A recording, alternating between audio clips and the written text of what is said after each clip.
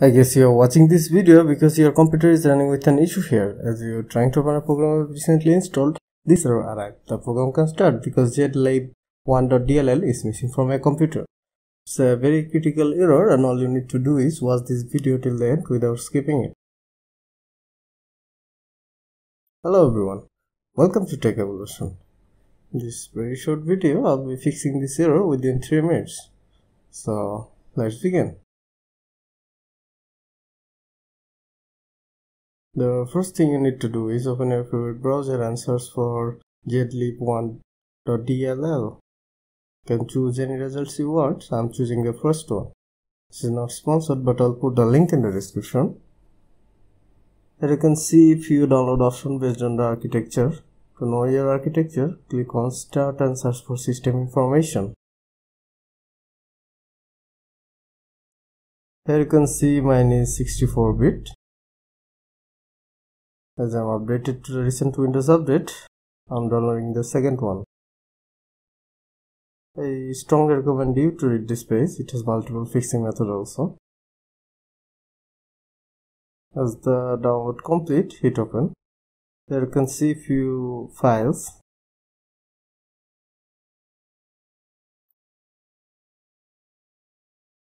To move the DLL open this PC local disk C Windows and find a folder named System32.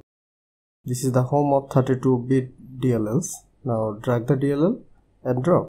I've already done this so they are asking me to replace. And click on continue. Before we proceed, let's check. By typing the file and you can see the file is placed in the folder right now. So job is done for 32-bit users. You can go and restart your computer.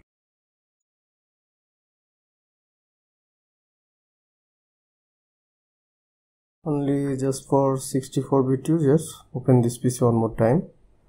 Local c windows and this time find a folder named syswow64 this is the home of 64 bit dlls now click on the zip file drag the dll and drop. Same again. Check this one more time yeah it is perfectly placed in this folder. So job done is for 64 bit too. And finally restart your computer. In extremely rare cases if there are TLockers you need to download and install MinGW and install your program again and that will surely do it. And that's all. If you follow me step by steps you'll no longer have that problems left Please let me know how you feel about this video and do not forget to like and subscribe.